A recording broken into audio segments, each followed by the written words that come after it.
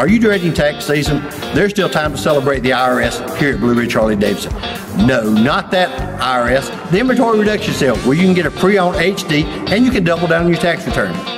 Use your tax return toward the purchase of a used bike at Blue Ridge Harley Davidson, and we'll double it up to $1,000. Even if you owe Uncle Sam, you owe it to yourself to come out and check out the inventory reduction sale going on now at Blue Ridge Harley Davidson.